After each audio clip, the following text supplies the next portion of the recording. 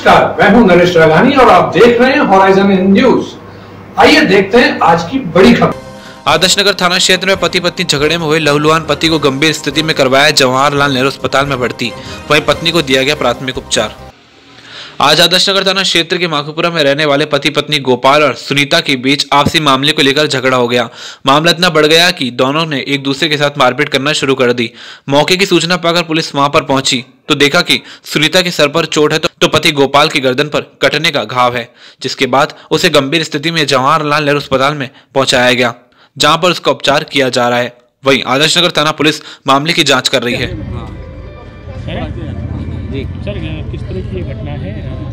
तकरीबन दो एक बजे दोपहर में दो, दो बजे थाने पर इतला आई थी झगड़े की सूचना मिली थी जिस पर मौके पे गए। तो वहाँ गोपाल और उनकी वाइफ सुनीता दोनों आपस में झगड़ा कर दोनों ने झगड़ा किया था। वाइफ के सर पे चोट है जो कि वो बता रही है कि पति ने कुल्हाड़ी से मारा है और पति के गर्दन में कटना कटा हुआ है। बोलने की स्थिति में नहीं सीरियस कंडीशन में है बाकी जाँच जारी है अभी जैसी रिपोर्ट आएगी वैसी कार्रवाई की जाएगी। हैं? पति पहले तो ये यूटिलिटी चलाता था काफ़ी टाइम से अभी कोई काम नहीं कर रहा है बीमार होना बता रहे हैं। बाकी जाँच में जो आएगा सामने उस तरह की कार्रवाई अमल में ली जाएगी। प्रारंभिक पूछताछ में पत्नी ने क्या बताया सर क्या झगड़ा था इनमें? और आज की जो घटनाक्रम है वो कैसे हुआ? झगड़े के बारे में तो कुछ नहीं बताया। पति पत्नी तो ये बता रही है कि मैं घर पे थी पति आया और एकदम से मेरे साथ मारपीट शुरू कर दी। उसके बाद का उसको अभी कुछ पता नहीं। ये माखोपुरा के रहने वाले हैं। सांसद भागीरथ चौधरी ने जनसुनवाई का किया आयोजन बड़ी संख्या में। मामले पहुँचे सांसद भागीरथ चौधरी के पास। निस्तारण का दिया आश्वासन। आज सांसद भागीरथ चौधरी द्वारा जिला कलेक्टर परिसर में स्थित सांसद जन सुविधा केंद्र पर प्रातः 11 बजे से दोपहर 2 बजे तक जन सुनवाई का आयोजन किया गया जिसमें बड़ी संख्या में सांसद भागीरथ चौधरी के पास मामले पहुँचे। कई मामलों का निस्तारण उन्होंने फ़ोन पर किया तो कई मामलों का निस्तारण करने का आश्वासन दिया। उन्होंने बताया कि कई विभागों से जुड़े मामले मेरे पास आए जिसका निस्तारण कर लोगों को राहत दी जाएगी। देखिए सांसद सेवा केंद्र यहाँ कई तरह के इशू आ रहे हैं। वाकई में जो कोई काम, जैसे अभी 2018 में एक्सीडेंट हो गया, अभी तक उसका चालान ही नहीं किया गया। ऐसे कई आए हैं जो यहाँ के अजमेर उत्तर के विधायक देवनानी जी है, उन्होंने अपने एमएलए फंड से, जब पहले मंत्री थे, उन्होंने पैसे दिए, फिर पुष्कर विधायक सुरेश सिंह जी रावत साहब ने, उन्होंने पैसे दिए। परंतु तो अभी तक उसको लटका रहे हैं। ये जबकि वो बाकायदा रिकॉर्ड में वो ईडी के नाम बोल रही है और वो कह रहे हैं, ये खातेदारी है ऐसे कई इशू आ रहे हैं कई जैसे गाँव के अंदर है, एक से खातेदार हैं, उन आपसी में झगड़ा चल रहा है एसडीएम कोर्ट के अंदर। वो दो काश्तकार तो फ़सल कर रहे हैं, एक कर ही नहीं पा रहा है। तो मैंने एसडीएम को संबंधित अधिकारी से बात करके, भाई, इनको जल्द तुरंत न्याय मिलना चाहिए। और कई इस तरह की ज्वलंत कई समस्याएँ हैं, जो समस्याएँ आ रही है। और हम चाहते हैं कि मेरा एक ही उद्देश्य है कि भाई जो भी यहाँ समस्या लेके आए जो समस्या हल होने वाली है, उसको तुरंत या तो संबंधित अधिकारी को फ़ोन करके या नहीं तो उनको मेरे लेटर पैड पे लिख के मैं देता हूँ ताकि ध्यान रहे कि वो काम होने वाला तो हुआ क्यों नहीं और नहीं होने वाला तो उसको बता दिया जाता है कि भाई इसमें ये कारण है, ये काम नहीं हो सकता है। और होने वाला तो क्यों नहीं हुआ? अधिकारी से वापस हम बात हर सोमवार को जन सुनवाई हम करते हैं। हम चा, मैं चाहता हूँ कि भाई ज़्यादा से ज़्यादा जो समस्या है वो जो होने वाली है उनका हाथों निस्तारण हो। बुनाबाई निवासी युवक ने फांसी खाकर समाप्त की अपनी जीवन लीला। पुलिस ने मौके पर पहुंचकर शव को लिया कब्जे में पोस्टमार्टम के बाद सुपुर्द करेंगे परिजनों को। पुलिस को सूचना प्राप्त हुई कि बुनाबाई के पास युवक जिसका नाम बबलू गुजर है उसने पेड़ से लटक कर फांसी खा ली है जिसके बाद पुलिस मौके पर पहुँचे और शव को अपने कब्जे में लेकर अजमेर के जवाहरलाल नेहरू अस्पताल की मोर्चरी में रखवाया।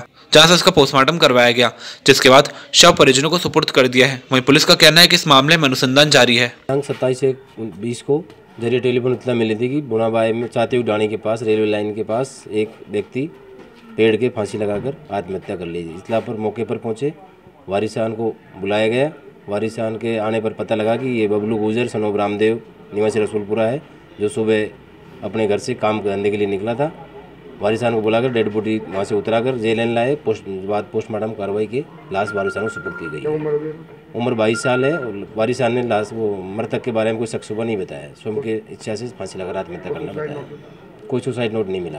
कल देव पब्लिक स्कूल में मनाया गया गणतंत्र दिवस मुख्य अतिथि के तौर पर ट्रैफ़िक इंचार्ज सुनीता गुजर ने की शिरकत। बच्चों ने दी रंगारंग प्रस्तुति। कल इकहत्तरवें गणतंत्र दिवस के मौके पर देव पब्लिक स्कूल में भी गणतंत्र दिवस मनाया गया, जिसमें मुख्य अतिथि के तौर पर ट्रैफ़िक इंचार्ज सुनीता गुजर ने शिरकत की। वहीं वशिष्ठ अतिथि में बालाजी हॉस्पिटल के डायरेक्टर बाल किशन शर्मा मौजूद रहे।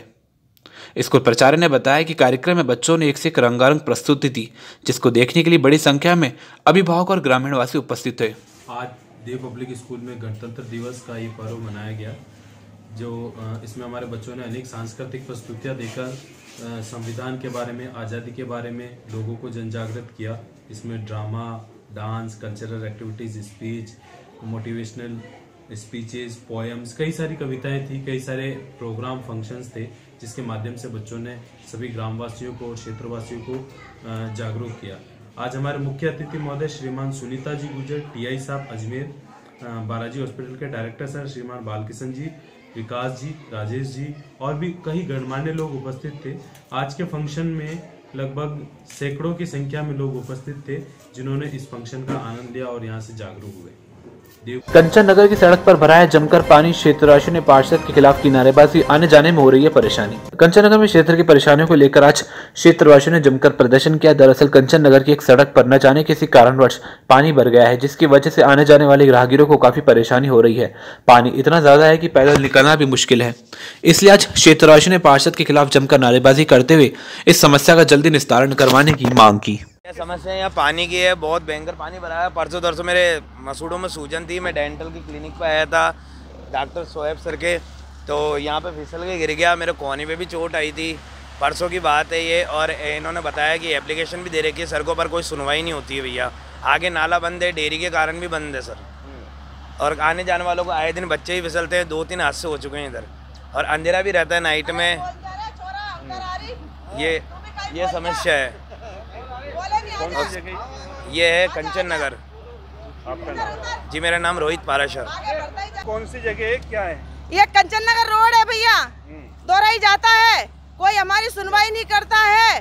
और भैया हम पार्षद से हम पाँच साल से बोल रहे हैं। और नोगिया से भी बोला हमने कोई सुनवाई नहीं करता है हमारी। बच्चे भी स्कूल के गिर जाते हैं लेकिन कोई सुनवाई नहीं है। और हमारे मकानों में पानी भर रहा है। हमारे नालियों का पानी रुक गया। हमारे अंदर जा रहा है पानी। आगे पानी जाने की बहुत समस्या डेयरी वाले जाने नहीं देते हमारे पानी को।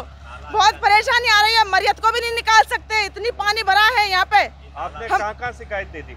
हमने नोगिया को दे दी हमने पार्षद को दे दी हमने बधेल को दे दी। हमारी कोई सुनवाई नहीं है पाँच साल से हमारे पास में वोट लेने को आ जाते हैं। पाँच साल से हम वोट दे रहे हैं उन लोगों के लेकिन हमारी कोई समस्या का समाधान नहीं हुआ। अब क्या इसमें क्या है कि रात को भी लाइटें नहीं है तो अंधेरे में हाँ लाइट नहीं है भैया। बिल्कुल एक भी लेट नहीं है लाइटों की भी बोला हमने लेकिन बिल्कुल उसकी भी सुनवाई नहीं करी हमारे। तो आए दिन एक्सीडेंट होते क्या? हाँ होते हैं। एक एक जयपुर केस भेजा है यहाँ से हमने उसको बिल्कुल यहाँ से हमने भेजा है। हमने यहाँ पे ला के पट्टी करी है। नाम बताइए आपका। नजमुन। हाँ भैया किस तरह की परेशानी हुई? यहाँ पे जो नाले का पानी है आगे नहीं जा पा रहा है उस वजह से यहाँ पे पानी भर गया है। और उसकी वजह से मेरे यहाँ पे डेंटल की दुकान है मैं खुद डॉक्टर सोहेब हूँ बीडीएस हूँ। और उसकी वजह से नाला आगे जाएगा तो ही इसकी समस्या का कुछ हो हो पाएगा। पार्षद को भी हमने लिख के दे दिया है लेकिन वो कोई सुनवाई नहीं हो पा रही है। इससे काफ़ी परेशानी आ रही है। राह पे चलने वाले लड़कों या बच्चों को भी बहुत दिक्कत आ रही है। किस तरह के एक्सीडेंट होते हैं आए दिन? आए दिन बच्चे गिर जाते हैं इस पानी में। और रोड पे चलने वाले या बाइक पे चलने वाले भी कई सारी परेशानी झेल रहे हैं। ये सब परेशानी इसकी वजह से ही हमने यहाँ बहुत परेशान हो चुके हैं इस चीज़ है से। यहाँ पर पास? पाकी पाक नापाकी बरोबर हो जाती है। ध्यान ही नहीं दे रहे पार्षद साहब ध्यान ही नहीं दे रहे इस वार्ड के तो। बहुत समस्या आ रही है आम आदमी को भी। अब इसका हल क्या है? पार्षद साहब आगे कुछ लिख के हैं उसको ज्ञापन देवे तो कुछ सुविधा हो ही है। देखो आपके सामने देखो कितनी परेशानी है बच्चे स्कूल जाते हैं वो पानी में से निकलते हैं। हाँ? किसान जाता है हर चीज़ इधर से रास्ता है ये आम रास्ता है। पुल बन गया ये अभी? स्विमिंग पूल क्या बन गया? तो तालाब बन गया खानपुरे के तालाब को ही फेल कर दिया इन्होंने। इधर से इधर इन्होंने रोक लिया इधर से ये रुक गया बीच में बस जाम हो गया। ये फ़ोटो भेजो सर ये सरकार को कुछ कार्रवाई करे। पैदल जाने वाले गरीब आदमी कैसे निकलेगा यहाँ से? या, या फिर यहाँ रिक्शा करे यहाँ से वहाँ छोड़ने के भी किराए का रिक्शा लगाएँ फिर। नवाजी को परेशानी पंडित को परेशानी सबको परेशानी। आम आदमी आम जनता को सबको परेशानी है। चीटे के पानी में से निकलना पड़ रहा है एक बूंद लग जाए तो नापाक हो जाता है यहाँ तो पूरे कश्ती चलाओ ना कश्ती कश्ती बनानी पड़ेगी। सरकार ध्यान ही नहीं दे रही है बिल्कुल। इलेक्शनों के टाइम पार्षद सारे आ जाते हैं। इलेक्शन के टाइम में आते हैं बाकी कोई मतलब नहीं है यहाँ पे कोई मतलब नहीं है क्या हो रहा है। अरे हम अनिता मैडम सुनवाई नहीं कर रही है मेन तौर से तो भाजपा की। और जो भी ये करे तो अच्छी बात है कार्यकर्ता ये सब सुने तो देखें। केकड़ी के स्वतंत्रता सेनानी ब्रजकिशोर शर्मा का देवलोक गमन चिकित्सा मंत्री रघु शर्मा पहुँचे पुष्प अर्पित करने। आज इक्यानवे की उम्र में केकड़ी के स्वतंत्रता सेनानी ब्रजकिशोर शर्मा का देवलोक गमन हो गया है। इस दुखद खबर को सुनकर चिकित्सा मंत्री रघु शर्मा भी केकड़ी पहुँचे, जहाँ पर उन्होंने मुख्यमंत्री अशोक गहलोत, उप मुख्यमंत्री सचिन पायलट और खुद की तरफ़ से पुष्प चक्र पार्थिव शरीर पर अर्पित किया। इस मौके पर उन्होंने कहा कि ब्रज किशोर शर्मा जो दो बार नगर पालिका के चेयरमैन रहे कांग्रेस के वरिष्ठ नेता थे जिन्होंने स्वतंत्रता संग्राम में भी भाग लिया। ऐसे व्यक्ति से हम सभी को प्रेरणा लेनी चाहिए। सर आज यहाँ पहुँचे हैं किस तरीके का दुख है और सेनानी? ये हमारे पूरे क्षेत्र के अंदर सबसे वयोवृद्ध स्वतंत्रता सेनानी ब्रजकिशोर शर्मा साहब कल वो देवलोक दमन हो गए। दो बार वो नगर पालिका के चेयरमैन भी रहे। स्वतंत्रता संग्राम में उन्होंने भाग लिया। और लगभग इक्यानवे साल की उम्र में उनका निधन हुआ। कल पूरे इलाके में शोक की लहर है, क्योंकि वो प्रेरणा के स्रोत थे सब लोगों के लिए। और जीवन के अंतिम क्षणों तक वो नियमित रूप से कोर्ट जाना आम आदमी के सुख दुख में हिस्सेदारी निभाना, एक परिवार में मुखिया के तौर पर वो पूरे लोगों को समय समय पर एडवाइस देने की बात हो, अपने संस्मरण सुनाने की बात हो। कांग्रेस पार्टी के वो बड़े नेता थे। दो बार यहाँ नगर पालिका के चेयरमैन भी रहे वो। मैंने मुख्यमंत्री महोदय की तरफ़ से आज उनकी पार्थिव देह पर पुष्प चक्र अर्पित किए हैं। हमारे प्रदेश कांग्रेस अध्यक्ष सचिन पायलट साहब की तरफ़ से भी श्रद्धांजलि अर्पित किए और आज पूरे राजकीय सम्मान के साथ उनकी अंत्येष्टि यहाँ केकड़ी के अंदर होगी। मेरी ओर से, कांग्रेस पार्टी की ओर से, सरकार की ओर से उनके श्री चरणों में विनम्र प्रणाम करते हैं, श्रद्धांजलि देते हैं। वो जहाँ भी रहें, ईश्वर उनके परिवार को ये दुख सहन करने की क्षमता प्रदान करे और शांति से, सद्भाव से जो जीवन पाल बिचला में नाले की समस्या को लेकर क्षेत्रवासियों ने किया प्रदर्शन, वार्ड पार्षद के खिलाफ करी नारेबाजी। आज पाल बिचला में नाले की समस्या को लेकर क्षेत्रवासियों ने जमकर प्रदर्शन किया और वार्ड पार्षद के खिलाफ नारेबाजी की। क्षेत्रवासियों का कहना है कि न जाने किस कारणवश नाले तोड़वा दी गई है, जिसकी वजह से बाहर निकलना भी दुश्वार हो रहा है। पार्षद को। इसकी शिकायत की तो उन्होंने कहा कि ठीक हो जाएगा लेकिन अभी नाली टूटने से क्षेत्र में काफ़ी परेशानी हो रही है। कौन सा एरिया है और किस तरीके की समस्या देखने को मिल रही है? मैं पहले अपना आपको परिचय दे देता हूँ। मैं ब्रजमोहन चौहान पूर्व पार्षद पति। मैं आपको ये एरिया जो हमारा है ये अंधेरी पुल वार्ड नंबर तैंतालीस का अंधेरी पुल से शाही मस्जिद तक का एरिया है जहाँ नाली का निर्माण कार्य हो रहा है। जो बरसों से हमारी पत्थर की नाली बनी हुई है इतनी मज़बूत स्थिति के अंदर उसको तोड़ के बिगर सीमेंट की ये नाली बजरी में बनाया बन, बनाने का काम चल रहा है। न तो नगर निगम का कोई अधिकारी न जे न ए मौके पर आके देखा कि नाली नियमों के अनुसार बन रही है नहीं बन रही है। उसके बावजूद जिस जगह हम खड़े हैं या दो तीन फुट पानी तीन चार फुट पानी भरा रहता है और इस नाली के ज़रिए वो पानी नाली के ज़रिए अंदरी पुल नाले में जाता है। जब नाली बहुत छोटी बना दी बना देंगे और बिगर सीमेंट की बनाएँगे तो वो नाली एक दो तीन महीने में ही ख़त्म हो जाएगी। इसलिए मैं नगर निगम को ये बताना चाहता हूँ कि ना, नाली को वहाँ के लोगों की राय लेके राय के आधार पर उस नाली को बनाया जाए। सर उससे पहले जो नाली बनी हुई वो पहले जो नाली बनी हुई है बहुत मज़बूत स्थिति में और पत्थरों की बनी हुई है। उसके वो सोलह ने सही है और अभी जो बन रही है वो चार आने सही है। इसकी शिकायत करी आपने? हाँ हमने उच्च स्तर पर इसकी शिकायत दी है। पार्षद जी को अपनी शिकायत अवगत करवाई है लेकिन वो कह रहे हैं कि जो जो चल रहा चलने दो। कौन है पार्षद पार्षद वैसे सुरेंद्र सिंह शेखावत है उनके नुमाइंदे हैं भगवान खरे जो पूर्व पार्षद है। उनकी देख रेख में नाली बन रही है वो पब्लिक की सुनते ही नहीं है। वो बस हाँ ना ना कहते घर पे नहीं है ये ऐसी बातें कर कर पब्लिक को टाल देते हैं। अब, अब क्या चाहते हैं हम ये चाहते हैं कि यहाँ के लोगों की राय लेके नाली निर्माण कार्य हुए देखे खुद आके जाइए नहीं कि नाली जो पुरानी बरसों की बनी हुई है कितनी मज़बूत स्थिति में बनी हुई है। उनको लगे कि हाँ ये मज़बूत स्थिति में बनी हुई है इससे हम बेहतर नाली नहीं बना सकते। तो इसी नाली की रिपेयरिंग करके मजबूताई दे के इसी कंडीशन में इसको बनाया जाए। मेरा नाम ब्रजमोहन चौहान। ऐसा है ये नाली ये पक्की मज़बूत थी। इसको बेवजह तोड़ दिया। अब ये किसने तोड़वाया? खरे साहब बता रहे खरे का नाम बता रहे तो नल वगैरह सब तोड़ दिया अपने पैसे लगाओ और ठीक कराओ। ये है। और नाली देखो आपको उतना घर से बाहर निकलना ही दुशवार हो रहा है हमारा। अब ये मज़बूत नाली थी उसको तोड़ करके कच्ची नाली बन रही है जिसमें आदमी एक आध महीने भी नहीं चल सकता है आदमी शिकायत करी कभी इसकी? शिकायत करी क्यों नहीं है? खरे को बोल दिया कर लिया हमने। खरे साहब को। क्या जवाब उसने बोला नुकर ठीक है आता हूँ मैं। हाँ बार भी आके हाँ। कौन सी जगह है ये? ये इधर ही है अपने ये चुपदरे के पास में खरे साहब। रेलवे से रिटायर होने के बाद धर्म सिंह राठौड़ कर रहे हैं बेजुबान जानवरों की सेवा पिछले 32 सालों से कर रहे हैं सेवा कार्य। जिनका नाम ही धर्म हो, धर्म कैसे न करें। गुलाबाड़ी निवासी धर्म सिंह राठौड़, जो कि चार साल पहले रेलवे से रिटायर हो चुके हैं, वे अपना पूरा समय बेजुबान जानवरों के साथ बिता रहे हैं। उनकी सेवा कर रहे हैं, अपना जीवन यापन कर रहे हैं। धर्म सिंह राठौड़, जो पिछले बत्तीस सालों से बेजुबान जानवरों की सेवा कर रहे हैं, उन्होंने बताया कि मैं डीआरएम रेलवे से रिटायर हूँ। जब मैं नौकरी पर जाता था, उस वक्त भी एक घंटा टाइम निकालकर बेजुबान जानवरों को खाना खिलाने के लिए इनके पास आता था। और अब जब मुझे रिटायर हुए चार साल हो चुके हैं, इसलिए मैं अपने दिन के आठ घंटे इनके साथ बिताता हूँ और इनकी सेवा करता हूँ।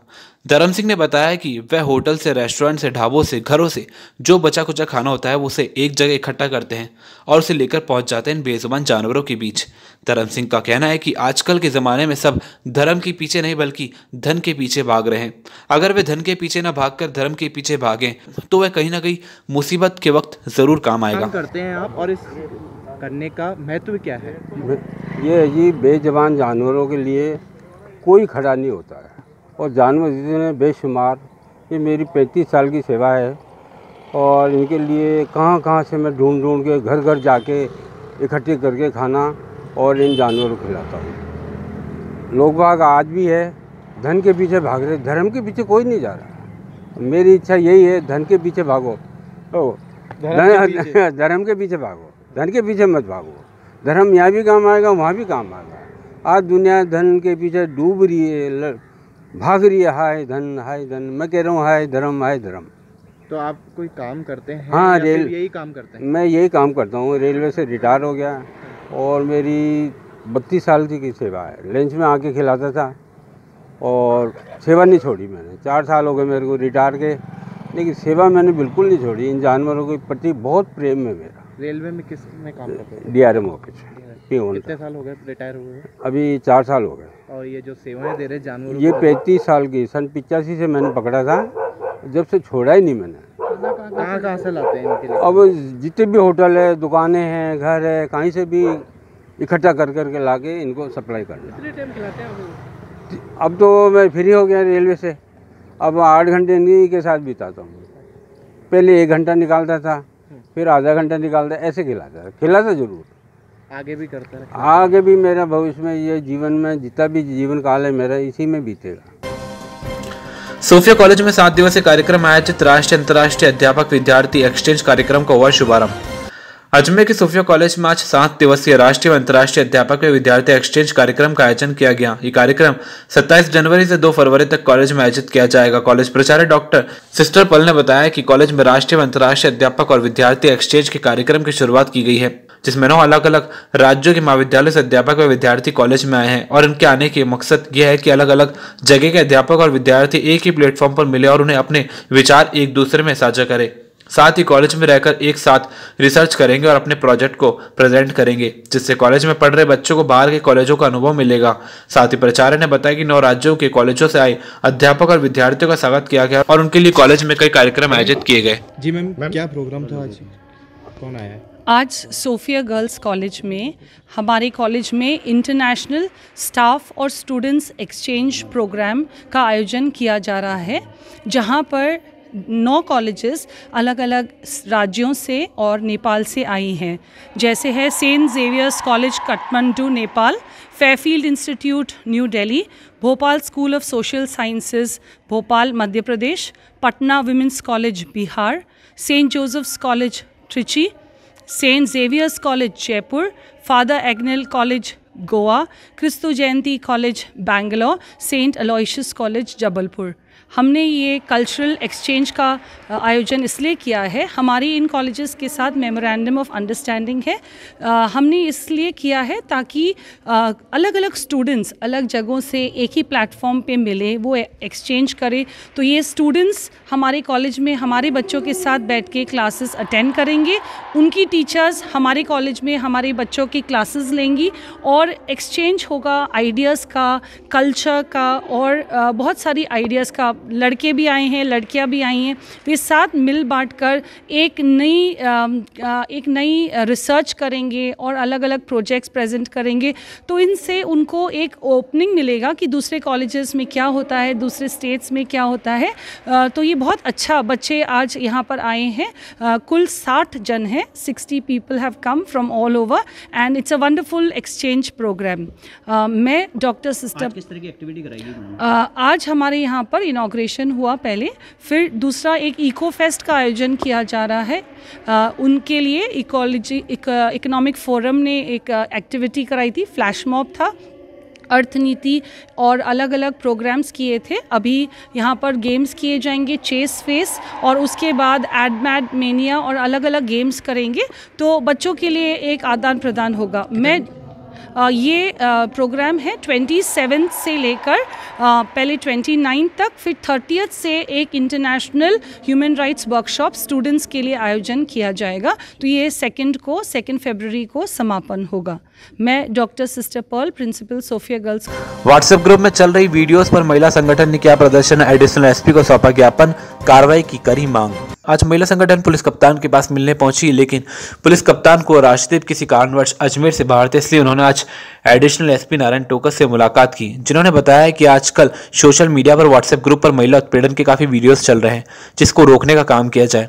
इसको लेकर आज उन्होंने एडिशनल एसपी को ज्ञापन भी सौंपा। आज हमने एक ज्ञापन दिया महिला संगठन के आधार पर। जो फेसबुक पर व्हाट्सएप पर, जो ऐसी अश्लील हरकतें करते हैं लोग महिलाओं के खिलाफ, इस तरह से कमेंट्स करते हैं, उनके वीडियो बनाते हैं, वो रोका जाए। इसलिए हमने एसपी साहब के पास आए थे, लेकिन एसपी साहब किसी काम से केकड़ गए एडिशनल एसपी साहब को हमने इसका ज्ञापन दिया है और हमने उसमें डिमांड की है कि जो, जिसने भी इस तरह की हरकत कर रहा, उसको कानूनी रूप से सजा दी जाए। उन्होंने पूछा नाम? मैंने कहा भाई नाम तो देखो बहुत सारे लोग आपको भी पता व्हाट्सएप ग्रुप खोलोगे तो पता लग जाएगा सोशल मीडिया खोलोगे तो अपने आप पता लग जाएगा। तो मैंने यही डिमांड रखी चाहे मेरा घर का व्यक्ति भी हो तो भी उसको भी सजा दी जाए। कोई भी हो हम ये चाहते हैं कि महिलाओं की इज़्ज़त करे सम्मान करे हर व्यक्ति। ये मेरे को नहीं आ रहा पर्सनली ग्रुप में मैसेज चल रहे हैं कि इस तरह की कोई महिलाओं को कह रहे हैं कि इन महिलाओं के साथ रहने से पहले अपने आप को सोचे और कोई क्लिपिंग डाल रहे हैं, महिलाओं के साथ खाना नहीं खाएँ, महिलाओं के साथ ऐसा करें, वैसा करें तो ये क्या है? कई बार महिलाओं को इस तरह के वर्ड्स कहते हैं जो गाली के रूप होते हैं। तो वो नहीं होना चाहिए। महिलाओं की इज़्ज़त तो इस इज़्ज़त का ध्यान रखना चाहिए। मैं द्रौपदी कोहली, पार्षद और महिला राष्ट्रीय संयोजक अखिल भारतीय कोहली समाज। हम अभी कोई पार्टी पॉलिटिक्स के आधार पर नहीं आकर हम महिला संगठन के आधार पर आए हैं और आज मेरे साथ पचास सौ महिलाएँ आई हैं वो इसी बात की डिमांड लेकर आई हैं कि महिलाओं के साथ जो इस तरह का व्यवहार हो रहा है उनको बंद किया जाए सोशल मीडिया को रोका जाए खबरें विस्तार से पढ़ने के लिए लॉग इन करें सच के साथ.